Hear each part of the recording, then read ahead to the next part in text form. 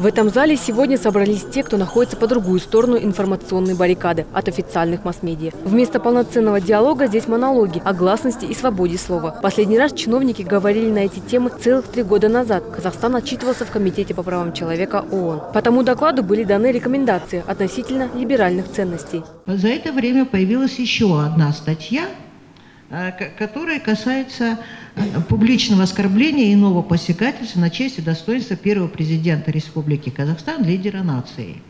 То есть э, вместо того, чтобы убрать повышенные меры защиты, мы их увеличили.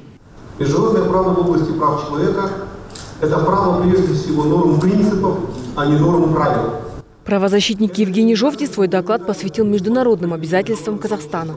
Почему, несмотря на то, что Казахстаном ратифицированы многие международные договоры по правам человека, и они, согласно Конституции, являются частью нашего национального права, они не применяются в правоприменительной практике. Ни правоохранительных органов, ни, что еще более печально, судебных органов.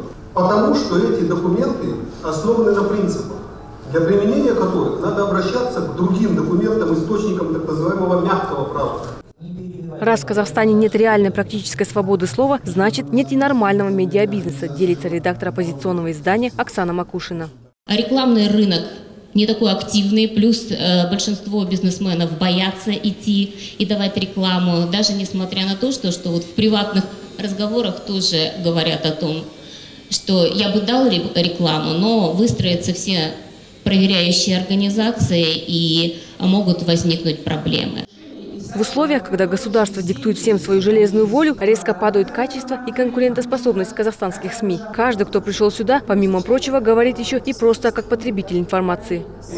Низкий уровень журналистики – первое. Отсутствие денег, мало рекламы. А, то есть хозяева, например, то есть я вот по интернет-ресурсам наблюдаю. Если, если мы говорим о классических СМИ, то там более-менее, то есть, ну да, верстка, да, там все это еще есть специалисты.